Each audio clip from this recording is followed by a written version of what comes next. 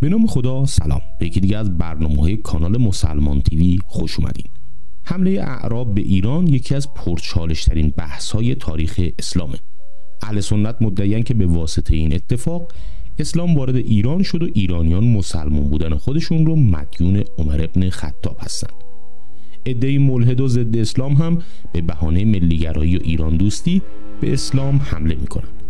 این عده بر این عقیدن که در فتح ایران توسط سپاه اسلام ایرانیان با زور شمشیر و اجبار مسلمان شدند. اونها قصد دارن اسلام رو یک آین تحمیلی بر ایرانیا بدونن و از علاقه و اشتیاق اونها چشپوشی کنن و نسخه ترد اسلام از جامعه ایران رو بپیچن.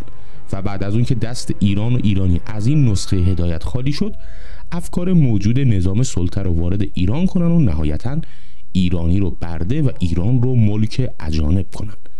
قراره تو دو یا سه قسمت به بررسی حمله اعراب به ایران بپردازیم که همکنون شاهد اولین قسمت اون هستیم.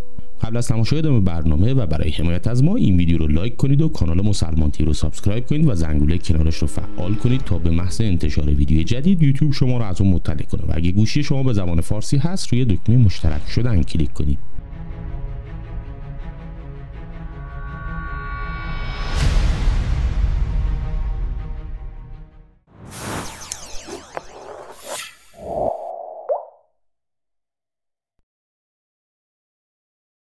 اینکه ایرانی ها اسلام خودشون رو مدیون عمر ابن خطاب هستن رو تو ویدیوی عالم زر توضیح دادم که لینکش رو آخر همین ویدیو قرار میدم تا بتونین تماشا کنین. اما همونطور که تو مقدمه ویدیو گفتم ملیگرایان پوشالی فاتحان ایران رو محکوم به وحشیگری تجاوز به نوامیز قارت و سوزوندن کتابخونه ها می‌کنن و مغرضانه در پی تخریب آین اسلام هستند با اینکه رفتار افراد و فاتحان بر فرض پذیرفتن جنایت اونها ربطی به آین اسلام که سراسر مهر و محبت و عدالت نداره به گفته اونها ایران و ایرانی در حمله اعراب جز کشته شدن دانشمندان و سوختن کتابخونه ها و از بین رفتن مراکز فرهنگی چیزی ندید. ایرانی در پذیرش اسلام هیچ اختیاری نداشت و مسلمون شدن ایرانیا به زور شمشیر و بعد از کشتاری فجیع بود و ما ایرانیان 1400 ساله که فریب اعراب و خوردیم و به خرافاتشون چسبیدیم. قافل از اینکه نمی‌فهمن که همین نسبت بی احترامی بزرگی به شعور ایرانیاست چرا که بر فرض اسلام به زور تحمیل شده باشه 1400 سال که زور و تحمیل وجود نداشته. چرا ایرانی؟ البته بجز خودتون و همفکرانتون رو اینقدر احمق تصور می‌کنید که نتونستن در طول این مدت که اجباری در کار نبوده دست از این آین اجباری بردارن. اونها گاهی دم از وطن پرستی و بازگشت به نیاکانیشون کوروش می‌زنن و جالبه که این کار رو تحجر و واپسگرایی نمی‌دونن در حالی که هدفی جز اسلام ستیزی ندارن و الا نه از حب وطن چیزی می‌دونن و نه منشور کوروش رو دوای دردها. اونها قوانین اسلام رو که حتی جزئی ترین مسائل رو مشخص کرده رها کردن و دم از منشوری می‌زنن که به ذکر کلیاتی بسنده کرده و طبق نظر برخی کارشناسان تاریخی جعلیه. همه می‌دونن عدالت خوبه اما با این گفته نمیشه عدالت رو در جامعه اجرایی کرد. اگه همین حالا منشور کوروش به شما عرضه بشه تا با اون حکومتی رو سامان بدید چطور امکان پذیره؟ یا مثلا به ادعای اینها آین زرتوش که مدعی پندار نیک کردار نیک و گفتار نیک هست بر مبنای کدوم معیار خوبی رو مشخص می‌کنه؟ متر و معیار و اندازه اون چیه؟ با این کلیات که نمیشه زندگی فردی و اجتماعی رو سر و سامون داد. این احتمال که ایرانیا با زور و از سر اجبار اسلام رو پذیرفتن سخنی نامعقول و غیر منطقیه مگه میشه عقیده ملتی رو برای همیشه دچار تحول قلبی کرد؟ اون هم با زور شمشیر و اجبار. شاید بشه انسان رو با اجبار تا مدتی وادار به انجام اعمال یا اظهار عقیده کرد. اما در صورتی که جبر برداشته بشه دیگه معنا نداره شخص به اون رفتار ادامه بده. در صورتی که ما می‌بینیم ایرانیا حتی پس از پیروزی بر بنی امیه که با قیام ابو مسلم خراسانی و جمعی از ایرانیان انجام شد دست از اسلام بر نداشتند بلکه مبارزه اونها به این خاطر بود که بنی امیه اسلام رو به فراموشی سپرده. در تاریخ معاصر وضعیت مسلمانای روسیه بسیار عبرت انگیزه آیا پس از انقلاب روسیه که در سراسر این کشور مدارس دینی تعطیل و هزاران مسجد بسته شدن این اجبار و فشار از سوی کمونیست ها سبب شد مسلمان از آین خودشون دست بردارن؟ خیر. این اجبار سبب نشد تا دست از اعتقادات خودشون بردارن و بعد از 73 سال که مسلمان ها قدرت و آزادی پیدا کردن مساجد رونق گرفت و مردم آزادانه مراسم مذهبیشون رو اجرا می‌کردن. حالا اگه مردم ایران در زمان فتح ایران به زور مسلمون شدن چرا بعد از رفع اجبار به آین زرتشتی باز نگشتن؟ علاوه بر این چطور اسکندر مقدونی علا رقم سعی و تلاش نتونست پس از حمله به ایران آین یونانیان و فرهنگ هلنیسم رو در این کشور حاکم کنه. اما مسلمان ها تونستن ایرانی ها رو مجبور به پذیرش اسلام کنن. یا چطور میشه باور کرد که ایرانیا در حمله مغولان به ایران تسلیم عقایدشون نشدن اما در حمله اعراب به ایران با اجبار اسلام رو پذیرفتن و بر این اجبار باقی موندن؟ به قول پروفسور ادوارد براون مورخ انگلیسی مسلمه که قسمت اعظم کسانی که در ایران تغییر مذهب دادن به تیب خاطر و به اختیار و اراده خود اونها بود و بعد از شکست ایران در قادسیه چهار هزار سرباز دیلمی بعد از مشاوره تصمیم گرفتن به میل خودشون اسلام بیارن و به قوم عرب ملحق بشن.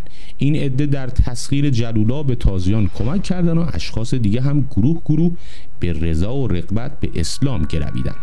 اشپولر استاد دانشگاه و شرقشناس آلمانی میگه تقریبا تمام ایرانیان بدون اعمال زور و فشار خارجی قابل توجهی از طرف فاتحان در مدت اندکی به اسلام گرویدن و دوز مستشرق معروف هلندی هم سخن او رو تایید کرده و میگه مهمترین قومی که تغییر مذهب دادن ایرانی ها هستند چون اونها بودن که اسلام رو نیرومند و استوار کردن نه اعراب. هرچند نقش اعراب مسلمون در شکلگیری تمدن اسلامی ایرانی رو نباید فراموش کرد اما نقش برجسته ایرانیا تو توسعه تمدن و علوم اسلامی و تدوین هزاران کتاب تو این زمینه گویای عشق و علاقه مضاعف این قوم به مکتب اسلامه این عشق و ارادت ایرانیان سبب شد تا این سرزمین مهد اندیشمندان اسلامی بشه ابن خلدون تاریخ نگار معروف میگه بیشتر دانشوران اسلام ایرانی هن. معلفین سهاه سته اهل سنت یعنی شش کتاب معروف و معتبر سنی ها و صاحبان کتب اربعه شیعه یعنی چهار کتاب معروف و معتبر ما شیعیان همگی ایرانی هستند. علاوه بر اینها ابو علی سینا خارزمی ابو ریحان بیرونی محمد ابن زکریای رازی عمر خیام و سایر بزرگان از اندیشمندان ایرانی به شمار میرن چنان که مورخین گفتند تا سه چهار قرن مردم برخی از مناطق ایران هنوز مسلمون نشده بودند. از جمله مردم فارس تا قرن چهارم زرتشتی بودند. مردم گیلان و دیلمستان هم بر آین قبلی خودشون بودند تا اینکه بعد از دو قرن توسط شخصی به نام ناصر اتروش زیدی مسلمون شدند. البته مناطقی مثل قزوین بود که اسلام رو به سرعت پذیرفتند با این وجود اونها به خاطر عدم آشنایی با زبان عربی بدون اینکه از اسلام چیزی بدونن اظهار مسلمانی می‌کردن. اغلب موارد مناطقی بودند که با اسلام آوردن خدایان و صاحبان اراضی و اشراف رعایا و دیگر مردم نیز مسلمان می‌شدند تمایل اشراف و صاحبان اراضی به این خاطر بود که هر کس مسلمان می‌شد امتیازاتی داشت. از جمله تملک او بر اراضی و اموالش باقی میموند و از پرداخت جزیه معاف می‌شد. این چنین بود که عده زیادی به خاطر حفظ اموال و اراضی خودشون و عده زیادی به خاطر تبعیت از عمل اشراف و بزرگانشون مسلمان شدند در حالی که ایمان در دلهاشون رسوخ نکرده بود. ادهی هم از ترس جان یا عدم توانایی پرداخت جزیه مسلمان شدند چرا که اگه کسی مسلمان نمی‌شد یا باید جزیه پرداخت می‌کرد یا باید کشته می‌شد. گفته شده در زمان حجاج از موالی به این عنوان که اسلام اونها واقعی نیست و برای فرار از جزیه اسلام آوردن جزیه گرفته می‌شد. بنابراین ایرانیانی که همزمان با فتح ایران اظهار مسلمانی کردند چهار دسته بودند یک عده‌ای که به سرعت اسلام رو پذیرفتن اما نسبت به معارف اسلامی به خاطر ندونستن زبان عربی معرفتی نداشتند این گروه اندک بودند دو عده‌ای که به خاطر تبعیت از اشراف و بزرگان منطقه مسلمان شدند. سه ادهی که از ترس جونشون مسلمان شدن و چهار ادهی که به خاطر عدم توانایی در پرداخت جزیه های سنگین مسلمان شدن بنابراین اکثر تازه مسلمان ایرانی اسلام ظاهری داشتند و در طی چند قرن پس از فتح ایران با معارف اسلام آشنا شدن و ایمان قلبی آوردن اونا هم که اسلام رو نپذیرفتن یا مقاومت کردن و کشته شدن و یا مانند اکثر مناطق از جمله مردم آذربایجان، بانقیا، باروسما، حیره، بهقباد اسفل و اوسط، انبار، سابات، رومیه، مهرود، اهواز، ایزه، شوش، جندی شاپور رام هرمز اصفهان و سایر مناطق با پرداخت جزیه به آین قبلی خودشون باقی موندن. هرچند موارد ذکر شده نقش بسزایی در تظاهر ایرانیان به مسلمانی داشت اما موارد دیگه هم بودن که در تظاهر ایرانیان به اسلام و کندی گرایش قلبیشون به اسلام موثر بودن که در ادامه به تبیین اونها می‌پردازیم.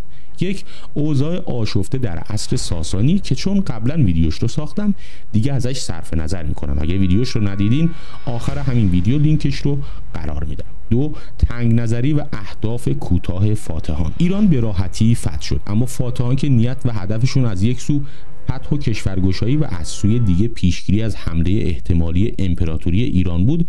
برای تربیت اسلامی ایرانیا تلاشی نکردند و خودشون هم به تدریج سیره پیامبر اسلام صلی الله علیه و رو در فتوحات به فراموشی سپردند روش اون حضرت این بود که بعد از فتح سرزمین یا پذیرش اسلام توسط قومی مربیانی رو به میونشون میفرستاد تا با تربیت اسلامی آشنا بشن. همونطور که امیرالمؤمنین علی سلام الله علیه به یمن فرستاده شد تا یمنی ها رو با معارف اسلام آشنا کنه. اما در فتح ایران از این مسئله قفلت شد. علت قفلت از این امر مهم به هدف فاتحان برمیگرده. نقل شده هنگامی که عمر ابن خطاب مردم رو به جنگ با ایرانیا فراخوند استقبالی نکردن و بیتوجه بودند در این گیرودار قبیله ازود مهیای جنگ شد که عمر برای ترغیب بیشتر اونها به جنگ غنائم کسرا رو یادآور شد. ابو نصر ابن متحر ابن طاهر مقدسی در مورد دلیل حمله مسلمونا روایتی از عمر ابن خطاب نقل می‌کنه که قبل از حمله به ایران گفته بود خدا شما را به زبان رسول خیش گنج خسروان و قیصران وعده داده است. برخیزید و جنگ با فارس را ساز کنید. در زمان خلیفه دوم از اختلاط اعراب با ایرانیا و برابر دونستن اونها با هم دیگه جلوگیری می‌شد. بنابراین اگه برخی از مناطق مثل بخارا و فاراب چند بار اظهار مسلمونی کردن و سپس به کفر بازگشتن شاید علتش بیتوجهی فاتحان به تربیت اسلامی و اکتفا به اسلام زبانی بوده باشه. خلاصه اینکه عدم دغدغه گسترش فرهنگ اسلامی از سوی فاتحان سبب کند شدن گرایش ایرانیا به اسلام شد. سه جنایات و روش حکومتی حاکمان اهل سنت. از عوامل دیگری که سبب شد تا ایرانیا در ابتدا تظاهر به اسلام کنن و ایمان قلبی نیارن جنایاتی بود که ایرانیان در هنگام فتح ایران نظارگر اون بودند. بنابر اونچه که نقل شده در برخی از قسمت ها مهاجمین با رفتارهای ناشایست و به دور از آداب جهاد اسلامی به فتح سرزمین ساسانی پرداختند که این خود از عواملی بود که ایرانیان رو از اعراب ناراضی می‌کرد و سبب تأخیر در ایمان حقیقیشون شد. در کتب تاریخی مثل تاریخ واقعی تاریخ کامل ابن اسیر فتوح البلدان بلازوری تاریخ یعقوبی و تاریخ ابن اساکر و تبری به گوشه از این جنایات اشاره شده. جنایاتی که هیچ سازگاری با دستورات اسلام نداره و برخلاف سیره پیامبر گرامی اسلامه. برای مثال کشتن رستم یکی از فرماندهان ایرانی که تمایل خودش رو به اسلام نشون داد طبق کدوم دستور اسلام بود؟ آیا این دستور اسلامی که اسیران رو بکشید اون هم با شمشیر و سلاح خودشون؟ آیا وادار کردن اسیری به کشتن اسیر دیگه مورد تایید اسلامه؟ آیا رفتار فاتحان بر طبق سیره پیامبر صلی الله علیه و آله و امیرالمؤمنین سلام الله علیه و هماهنگ با پیام آیه و یطعمون الطعام علی حبه مسکینا و یتیما و اسیرا بود؟ که خدا میفرماید و غذای خود را با اینکه به آن علاقه و نیاز دارند به مسکین و یتیم و اسیر می‌دهند. چه تفاوت آشکاری بین رفتار امیرالمؤمنین سلام الله علیه با اسیران که سبب نزول آیات قرآن میشه و بین رفتار دیگران که سبب دوری از قرآن و اسلام میشه؟ به پایان قسمت اول این برنامه رسیدیم. تو ویدیو بعدی به ادامه این موضوع می‌پردازیم. ممنون که تا انتهای این برنامه همراه من بودیم. با لایک ویدیو کمک می‌کنید یوتیوب رو به افراد بیشتری به نمایش بگذاره و شما در ثواب نشر و ترویج معارف و مفاهیم اسلامی سهیم و شریک باشید. تا ویدیو بعد و برنامه بعد شما رو خدای بزرگ و مهربون میسپارم. خدا نگهدارتون.